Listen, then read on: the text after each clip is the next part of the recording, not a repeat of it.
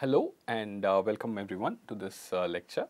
Uh, this week we've been looking at expectations and hopefully this is a recap for you. You've seen expectations before in the statistics 1 course. We are continuing to look at what expectations are and we'll proceed. But I've been talking about how you know you can do simulations of probability and experiments in uh, Python. I showed you some simple uh, simulations.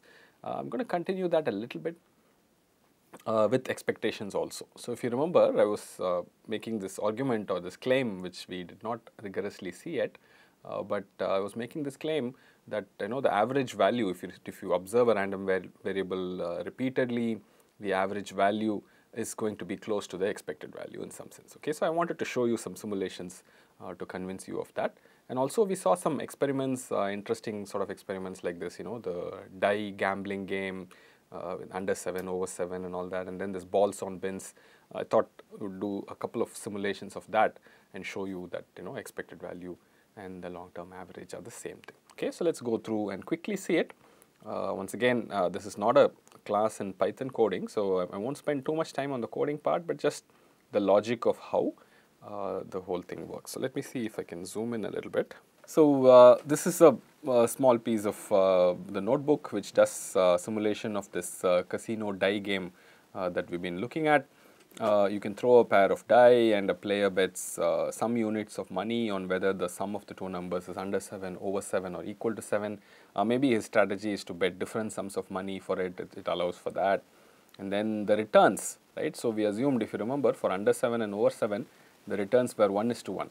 Okay. So, while uh, for equal to 7, the returns are some 4 is to 1, right. So, you can sort of keep that also as a variable here and then uh, you know you can sort of simulate this uh, with independent uh, you know betting. Okay, so this this is what this program does. You can go through and look at it. The logic should be uh, simple enough on how it works, and I could run it, but I'll have to go back and make sure I run some of the initial things first, and then run this. We need to import first. Uh, it's going to be connecting and allotting and initializing. Yeah, so it should work now. Yeah, and we need this uniform distribution. I don't think we need anything else, so we can go back down and then run. Uh, once again, the sheet will be with you, this notebook will be with you. You can also run it the exact same way run it. Uh, so, there's values for A and B. I've put it as 12 by 5 and 6. Uh, so, that in this case actually the predicted returns. So, this is the predicted return. So, maybe I should put that down there. Uh, expected gain. Okay, so this is the simulated gain. Okay. So, I have set it up so that I have set up the returns. You can see the return for A is 12 by 5 which is 1.4 right and B is 6.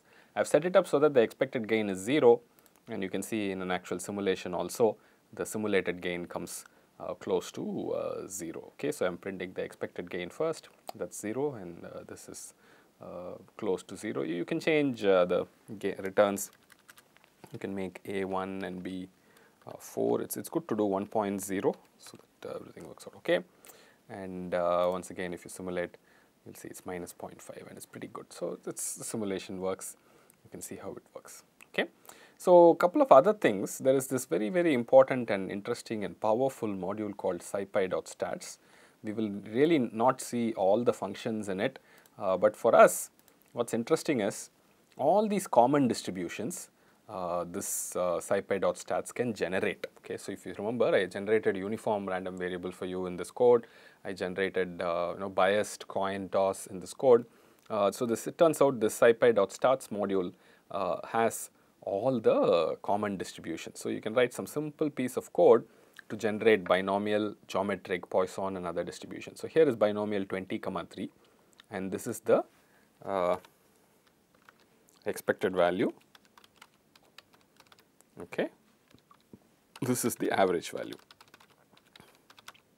in simulation, right. So, this is what I am doing here and uh, if, if you actually run it, you will see binomial of 20 comma 0.3, uh, the simulated value, uh, expected value is 6 and so this is the command from SciPy stats which generates 1000 binomial random variables uh, with parameters 20 comma 0.3. So, this is how easy it is to use Python modules for generating random variables. I mean, you have all these fancy distributions and uh, there are powerful Python modules which in one line can generate 1000 binomial random variables, uh, instances of you know samples from the binomial random variables. And you can see all the help and all that. So it, it's all out there. You just have to just take and use it. And uh, I'm, I'm adding up all the random variables and dividing by how many I have, 1000. So this is the average value in simulation and that agrees very, very closely with the expected value. The same thing you can do for uh, geometric random variable. Again, once again, that's the expected value and this is the average value simulation.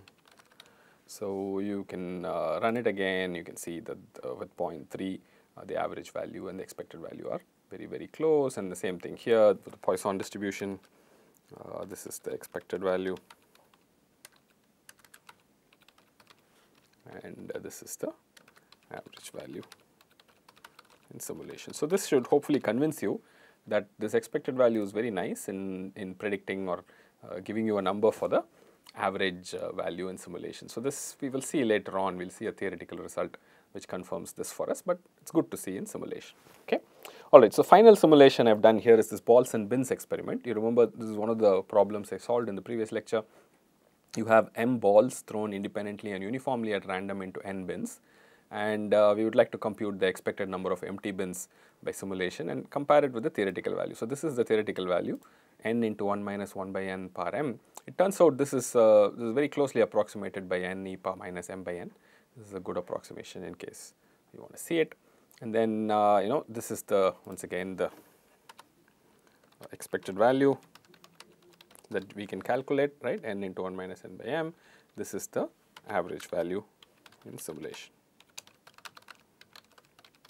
Okay, so you can see the way I do it, the simulation uh, first, uh, you know, I, I, I, repeat the simulation 1000 times, you remember that is how we do Monte Carlo and uh, this is the number of balls that are there in every bin, okay. Keep track of balls in bins, okay. And then for every ball uh, in m balls, I generate a random bin and then I keep track of the number of balls in that bin, I increase it by 1. Okay, and then finally number of empty bins, I go through every bin and then see if the number of bins is empty, I, I increment the number of empty bins. It's a very simple uh, procedure and the average number of empty bins is uh, number of empty bins uh, by 1000. Okay. So, this uh, once again if you can simulate you will see uh, you will get numbers which are very very close. Okay. So, we are keeping this uh, Python simulation going. Some of you maybe are doing the Python course right now, some of you may not be doing the Python course, but still uh, I hope these commands are simple enough and from your knowledge of computational thinking, you may be able to uh, figure out how to uh, work with uh, this. Okay. So, that is the end of this short lecture introducing this simple simulations to show how expected value is very, very useful in practice. Okay. Thank you very much.